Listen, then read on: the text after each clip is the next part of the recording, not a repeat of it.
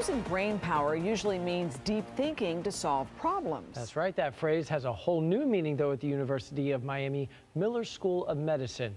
Kevin Ozebek shows us why in today's 7 Spotlight.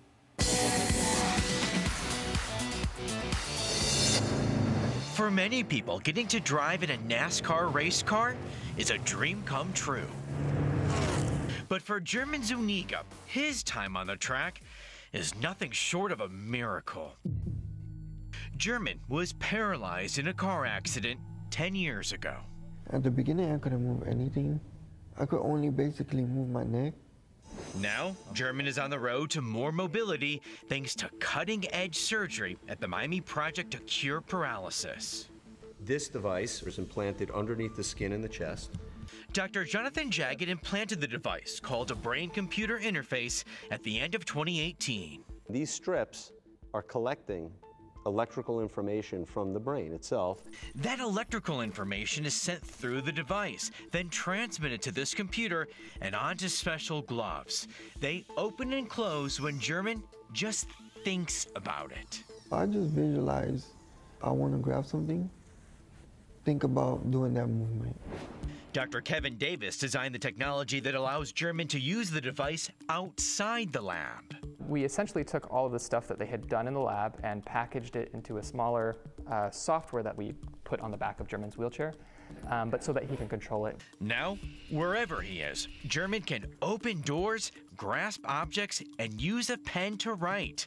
In the lab, he's even working on taking steps. I feel like uh, I have more movement of my body and like more control of it. But his most exciting moment was in the driver's seat with Falci Adaptive Motorsports in Colorado. Their race car is designed for people with spinal cord injuries.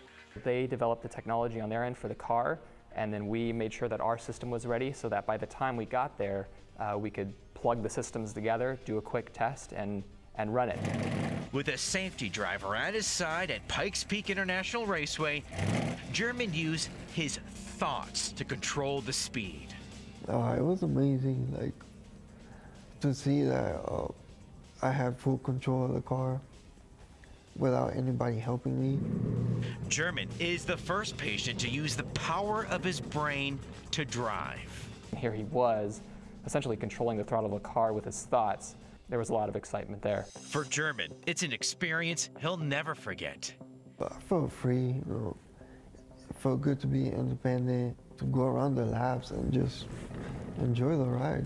And it's technology that is always advancing.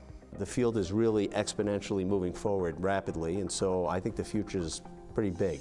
German is now majoring in computer science at Miami-Dade College. He hopes to eventually work at the Miami Project to Cure Paralysis, creating equipment to help others with spinal cord injuries. Kevin Ozebek, 7 News.